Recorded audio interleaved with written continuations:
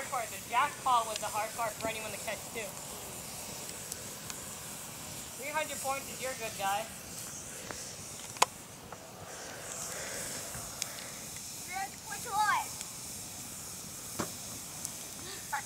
That was terrible. Are you gonna keep on saying? Yeah, because you keep your hands, keep your hands in locked, right, in case it goes at your face.